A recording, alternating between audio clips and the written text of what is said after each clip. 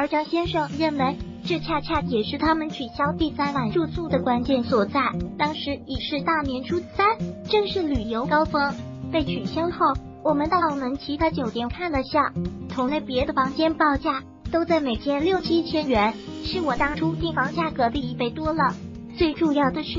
当时都客满了，想订也订不到了。之后转到珠海，张先生一直觉得对方所谓的泄露订房渠道只是一个托词，而追求利益最大化才是他们的目的。业内人士侵犯消费者知情权，如存在欺诈，可按三倍赔偿。去哪儿网不能泄露订房渠道的提示，是否能成为取消订房的理由？此事件消费者该如何保护自己的权益？对此，重庆合作律师事务所律师王志国表示，如果双方在合同约定上并未明确告知，如果泄露订房渠道会带来怎样的后果，那所谓的泄露订房渠道不构成。可以随意解除合同的理由，一旦单方面取消，就是违约，应该按照合同法的相关规定赔偿客户的损失，包括到另外的地方住宿产生的费用、旅游出行增加的费用等。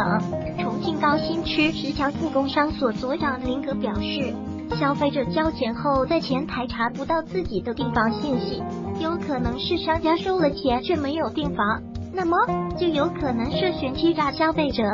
根据《消费者权益保护法》第五十五条相关规定，经营者提供商品或者服务有欺诈行为的，应当按照消费者的要求增加赔偿其受到的损失，增加赔偿的金额为消费者购买商品的价款或者接受服务的费用的三倍，增加赔偿的金额不足五百元的为五百元。法律另有规定的，依照其规定。如果喜欢本视频，请订阅本频道。